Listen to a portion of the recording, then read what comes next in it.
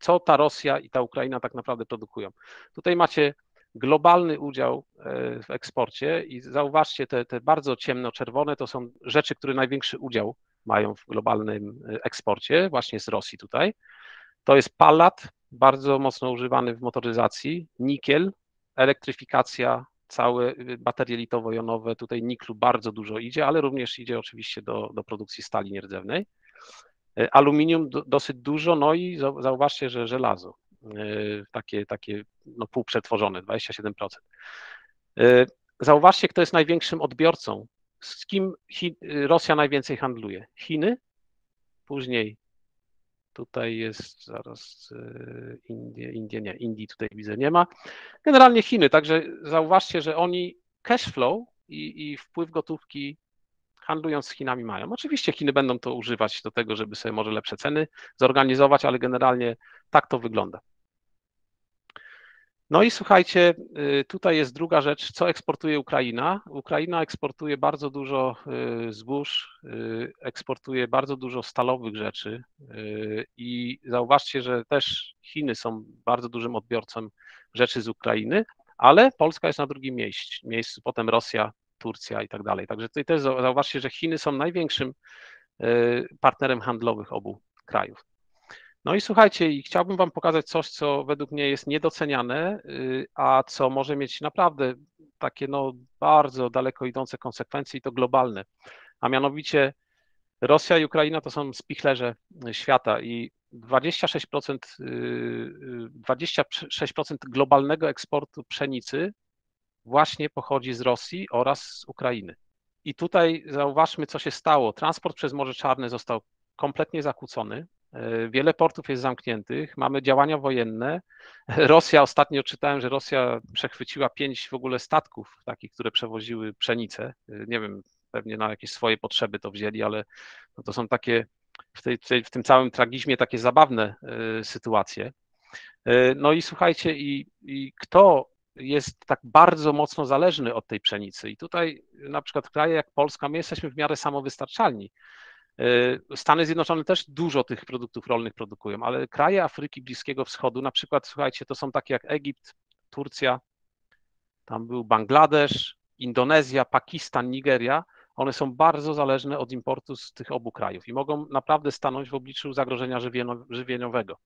A z historii wiemy, że jak kalorii odpowiednich nie ma, w żołądku, no to y, mogą się zacząć no, rozruby po prostu. Ludzie, ludzie będą wychodzili na ulicę. Zresztą w Egipcie to się już stało, bo chleb y, poszedł zbyt mocno do góry.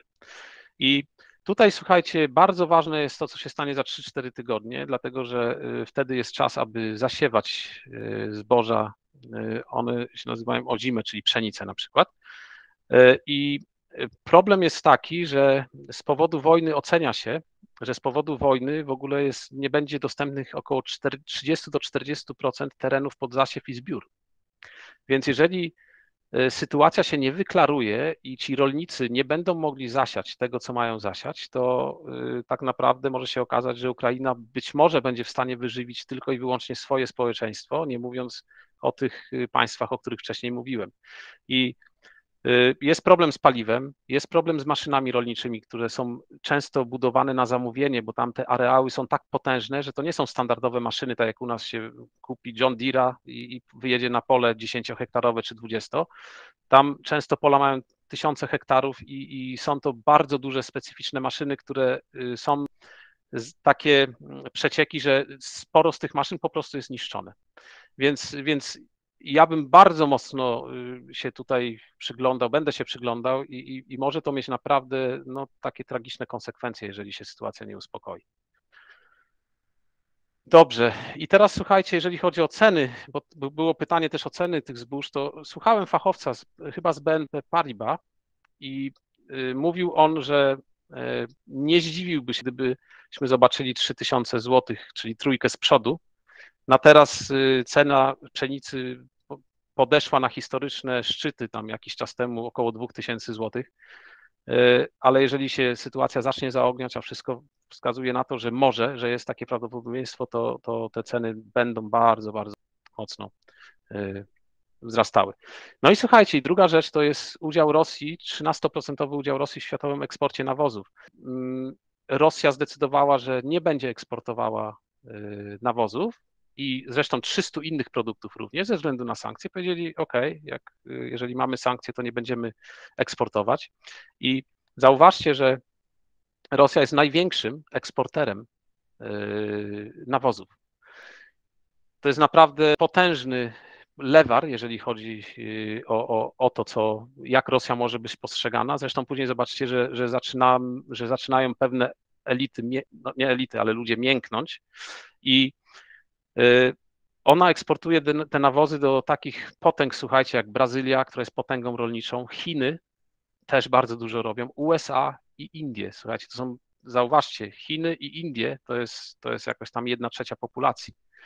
Jeżeli te kraje nie będą w stanie y, zdobyć nawozów, to wiecie, to cena to już nie jest problem. Problemem jest to, że po prostu w ogóle może to zagrozić produkcji żywności. I, i no jest to, jest to realne, realne ryzyko, które trzeba mieć na uwadze. Ja tutaj nie chcę czarnych wizji snuć, ale jest to coś, co my musimy zrozumieć, że te sankcje to nie jest po prostu coś, że, że każdy się cieszy, że Putin dostaje po, po nosie, bo, bo mu rubel spada, bo nie będzie mógł eksportować, bo pieniędzy nie ma. Nie, to są naprawdę konsekwencje y, globalne, można powiedzieć i związane z podstawową, z podstawą tej piramidy Maslowa, czyli z jedzeniem. Dobrze, słuchajcie. No dobra, to jak reaguje teraz, jak reagują banki centralne, bo sytuacja jest poważna. No i banki centralne reagują w taki sposób, że y, widzą, jak wzrasta inflacja. Y, w USA jest to na poziomie około 8%, jest to najwyższa inflacja od ponad 4, 4 od ponad 4 dekad i, i, to nie jest y, coś, co, na co był ktokolwiek przygotowany, aczkolwiek na naszych warsztatach ludzie, nie wiem, być może jest ktoś, kto miał ze mną warsztat w 2019, 2020 i 2021 roku na początku, y, tam wskaźniki na wykresach, dane makroekonomiczne mówiły, że ta inflacja musi przyjść ona po prostu musiała przyjść. I to się teraz materializuje trochę szybciej niż, niż przypuszczałem, ale no, taka jest sytuacja. No i co, co robi bank centralny, największy, najważniejszy bank centralny? Y, po prostu podnosi stopy procentowe i tutaj nawiążę do tego, o czym mówiłem na początku. Stopy procentowe są używane, są potężnym narzędziem. Y, podniesienie stóp procentowych oznacza wychłodzenie gospodarki i zazwyczaj wzrost kursu y, wartości waluty. Natomiast obniżenie stóp to jest, to jest proces odwrotny. Tak jak widzicie, to się nazywa dot plot. Każda kropeczka to jest jeden członek komitetu, otwartego komitetu Banku Centralnego Stanów Zjednoczonych. No i tak jak widzicie, oni w 2022 roku, większość z nich była tutaj, oscylowała między 0,7 a jednego punktu procentowego. Mamy teraz 0,5, także, także idzie to zgodnie z tą linią tutaj trendu, ale w 2023 roku właśnie ze względu na inflację yy, wszyscy mówią, że to powinno być między 1 a 2%. Także co, jakie to ma konsekwencje, to zaraz powiem, bo, bo to nie jest tak, że sobie stopy podniosą i nic się nie dzieje. Będzie to miało bardzo poważne konsekwencje potencjalnie. No i Słuchajcie, konsekwencje są takie, znaczy może jeszcze to, co Powell powiedział, to jest prezes Banku Centralnego. Na ostatnim spotkaniu 16 marca on podtrzymał narrację swoją zacieśniania polityki monetarnej, czyli podnoszenia stóp i ograniczenia do druku pieniądza. Podnieśli główną stopę o 0,25% i powiedział, że będzie, będą podnosili tak, jak po prostu trzeba. I rynek oczekuje, że to może być nawet 6 razy w tym roku aż do dwóch punktów procentowych. Y, także od zera do dwóch punktów w przeciągu powiedzmy roku czasu jest to, jest to bardzo, bardzo duży y, skok. Y, a jak reaguje Europejski Bank Centralny? Zawsze taki troszeczkę w cieniu siedział, a w Europie mamy prawie 6% inflacji. Jest to historyczny rekord. Inflacja w Polsce osiągnęła 9,2%, jesteśmy chyba trzecim czy drugim liderem. No i jak reaguje ECB? Pani prezes Banku Centralnego, y, Christine Lagarde, powiedziała, że będą również y, rozważali przycięcie do druku pieniądza, czyli nie dolewamy już więcej paliwa do, do gospodarki oraz powiedziała, że w związku z tym, co robią inne banki centralne, szczególnie amerykański, y, będą podnoszone stopy procentowe. Dlatego euro się jeszcze jakoś trzyma w stosunku do dolara i dlatego widzimy, że dolar indeks dolara jeszcze nie wystrzelił tak jak powinien.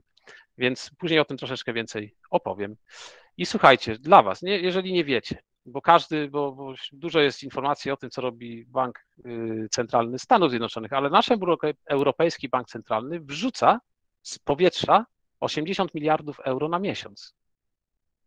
Oni to ładnie nazywają, tutaj y, napisałem, żeby to było zwizualizowane, na przykład Asset Purchase Program albo Pandemic Emergency Purchase Program.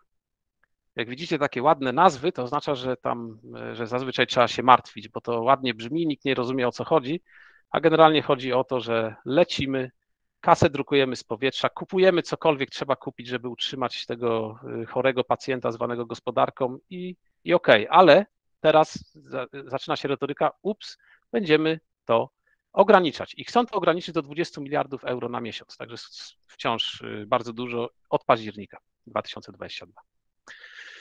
No i dobra, i słuchajcie, no i dlaczego ja o tym mówię? Dlatego, że y, jeżeli słyszycie teraz o tym, że to ta, ten niedobry, niedobra Rosja spowodowała to, co teraz mamy, podwyżki cen straszne i tak dalej, to mm, musimy chyba się rozczarować trochę, bo oczywiście to dołożyło swoją cegiełkę, natomiast wszystko zaczęło się już od 2008 roku, a mianowicie zaczęło się tak, że tak jak widzicie, wykładniczo po prostu drukuje się kasę z powietrza, znikąd. Po prostu się drukuje kasę i wrzuca.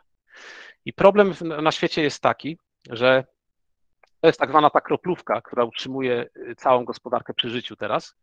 No problem jest taki, że y, stopy procentowe również były historycznie niskie, nigdy takiego eksperymentu nie zrobiono. One były na 0%, na, na po, trochę poniżej 0 i to spowodowało, że mamy bańki na, y, na wszystkim praktycznie, co, co, na czym możemy mieć, czyli nielimitowana kasa, Y, zerowe stopy procentowe, czyli zero kosztu obsługi kredytu, no i mamy to, co mamy na nieruchomościach, na, na przykład na y, giełdach, na surowcach.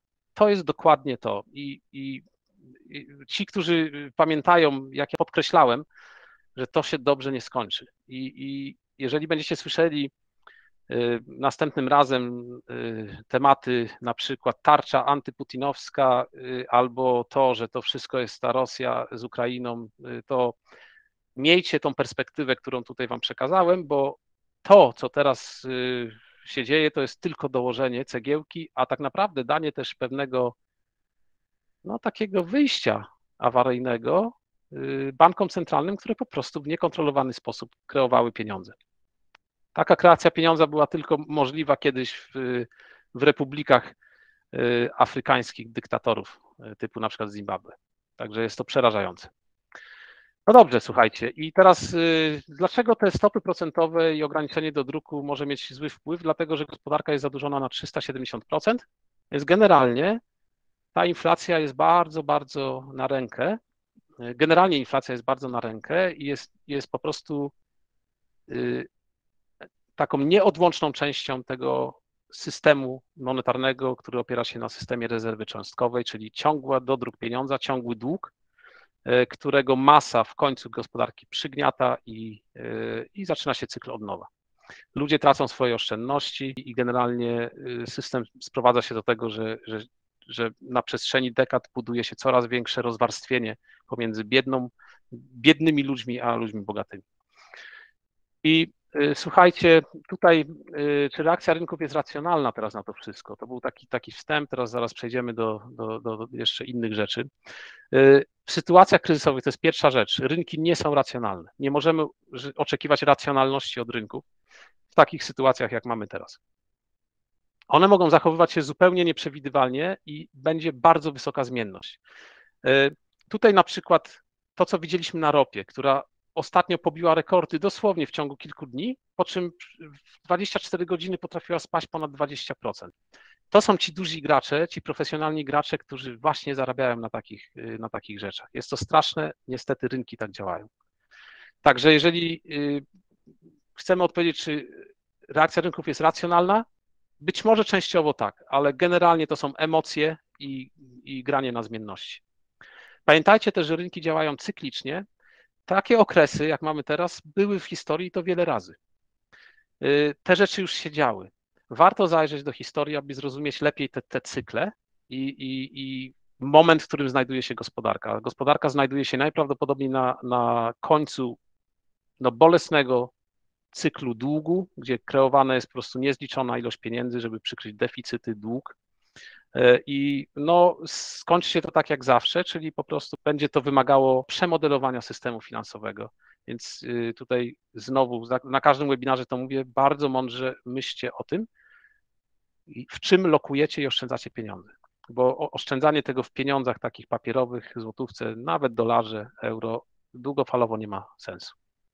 I teraz chciałbym Wam tutaj troszeczkę coś zareklamować. Zaraz zobaczcie co, bo dla mnie zrobiło to niesamowite wrażenie y, i tutaj musimy pamiętać, że powstawanie tych światowych potęg gospodarczych, na przykład tak jak Stany Zjednoczone, Chiny, zawsze było pochodną trzech podstawowych składowych. Y, wcześniej to, były, to, były, y, to była Holandia, Hiszpania, później Wielka Brytania. Te potęgi się tworzyły i znikały. Pierwsze, pierwsza rzecz, która powoduje, że, że jakieś państwo jest potęgą, to jest kontrola handlu i szlaków handlowych. E, tutaj Stany Zjednoczone praktycznie kontrolują szlaki morskie, e, czyli największy szlak.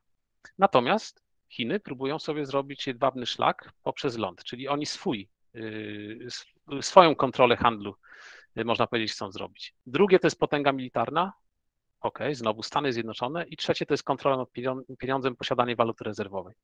E, nie będę dalej wchodził w temat, natomiast bardzo mocno, naprawdę bardzo mocno polecam obejrzenie filmu, on jest po angielsku, y, człowieka, który nazywa się Ray Dalio. To jest założyciel i zarządzający pewnym bardzo dużym funduszem y, Bridgewater Associates. Y, robi świetną robotę taką edukacyjną i Polecam bardzo obejrzeć całkiem świeży film, który nazywa się Changing World Order. E, nie bójcie się, to nie są teorie spiskowe o tym, że tam jakiś jest jeden rząd i tak dalej. Jest to pokazanie, w jaki sposób działają cykle. I on też napisał książkę, na, na podstawie której ten film powstał. Zobaczycie, w jakim cyklu jesteśmy według tego człowieka, a on naprawdę ma bardzo, bardzo szeroką wiedzę. Także e, bardzo polecam.